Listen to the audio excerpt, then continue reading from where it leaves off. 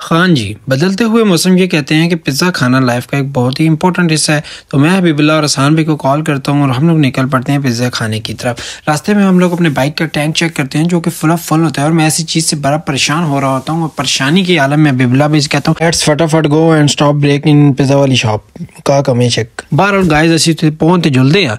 बहरहाल उधर हम पहुँच तो जाते हैं गाइस लेकिन आगे जाके अंदर हमारे साथ क्या सीन होता है, ये आपको पूरी वीडियो देखनी पड़ेगी। हम लोग सीढ़ियाँ चढ़ते हैं और ऊपर आते हैं जहाँ पर सामने हमारे पास एक हॉल आ जाता है और हम लोग वहाँ पर बैठ बैठ जाते हैं और सबसे पहले हम लोग मेन्यू पे हाथ रखते हैं। मेन्यू ओपन कर, ओपन करते हैं।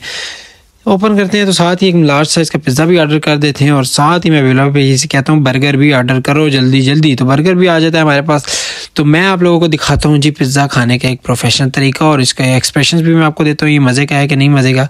बहरहाल जब मैं इसको ट्राई करता हूँ तो इसका जायका तो बहुत ही अच्छा होता है। तो अभी बिला भी कहते हैं, यार, मैं मुझे तो मैं भी इसको ट्राई करता हूँ और आपको काटने का तरीका भी सिखाता हूँ। मैं सिखा दो जी तुम सिखा दो। सानू तरीका सिखाते तो फिर ना ही बर्गर नहीं ट्राई करने, ना टाइम आ जुलता है तो मैं भी बिला भाई ना तुम ट्राई करो।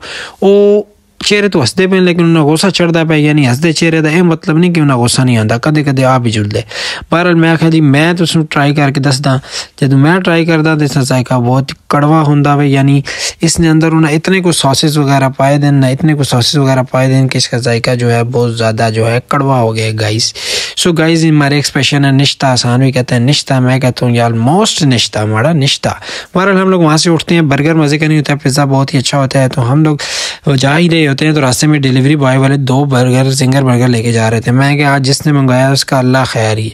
वो उस बेचारे ने पता नहीं, मामा से पैसे मांगे हैं, पापा से मांगे हैं वो जो है घर में लड़ाई डालेगा। बार हम लोग नीचे उतरते हैं और उम्मीद करते हैं आपको आज की वीडियो पसंद आई होगी। Subscribe to